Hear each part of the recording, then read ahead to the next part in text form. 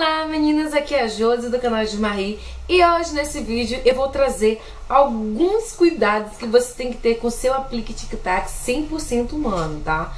Apesar de ser humano, tem alguns cuidados que nós temos que ter, né, um pouquinho a mais que o cabelo, que o nosso próprio cabelo, né, para que o aplique ele continue intacto, tá, gente?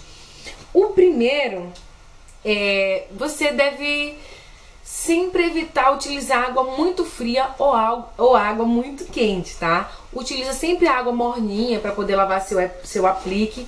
Não, não pode esfregar com muita, sabe, com muita vontade. Você não pode ficar esfregando esse aplique, por quê? Querendo ou não, é uma costurazinha que a gente tem. Eu tô, eu tô só com o aplique aqui agora, eu vou tirar aqui de baixo para mostrar pra vocês. É uma costura, gente, que tem nesse, nessa partezinha aqui do aplique, tá? E o cabelo, ele é dobrado nessa costura, ele dá algumas voltas. Então, se você ficar lavando o cabelo e ficar puxando muito ou esfregando, primeiro, corre o risco de danificar a fibra, né, do capilar aqui do aplique. E corre o risco também de frouxar essa parte daqui de cima e acabar soltando o cabelo. E nisso aí vai acabar danificando o seu aplique, certo? Algumas pessoas me perguntam, mas Josi, como é que a gente lava o, o aplique tic-tac? Você vai lavar o seu aplique normalmente do mesmo jeito que você lava o seu cabelo, com shampoo e condicionador. Só que aí você vai aplicar o shampoo e vai deixar lá agindo de 2 a 3 minutos. Deixa lá agindo, né? Sem ficar esfregando sem nada. Você aplicou nele dessa forma, sempre segurando aqui na base, ó, gente. E evitando também molhar as presilhas para evitar que, que enferruje, tá?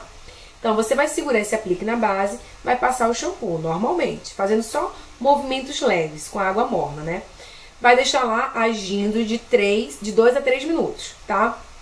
Depois disso, você vai enxaguar normalmente, do mesmo jeito. Segura na base para evitar muita pressão aqui em cima. E aí você vai enxaguar esse cabelo.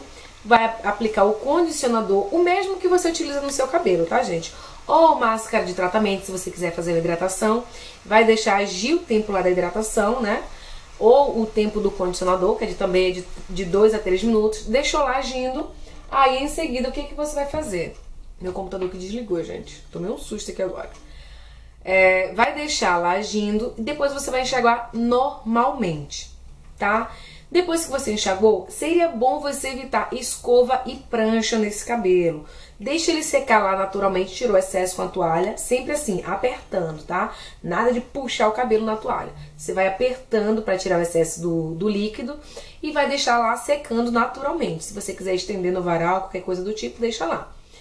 Depois disso, depois dele totalmente seco, aí sim, você pode vir com um livin, livin, eu não consigo falar esse nome certo passando livin ou um protetor térmico e aí você vai pranchar esse cabelo. Mas como é que eu vou pranchar, José? A prancha puxa, eu sei disso. A mesma coisa, segura na base e aí você prancha o comprimento do cabelo, tá bom? Vai pranchando o comprimento sem puxar. A própria prancha você vai com delicadeza ali e vai pranchando esse cabelo sem nenhum tipo de dificuldade, ok?